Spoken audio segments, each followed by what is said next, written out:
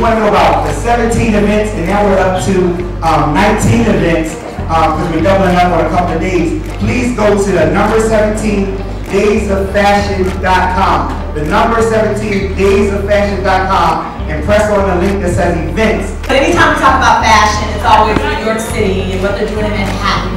But I think there is so much to offer the city of Philadelphia. There are so many movers and shakers, so I'm so happy that we're finally getting it together on our own. There's a difference between style and fashion and going education on that weekend. Just we look forward to having all of you support that.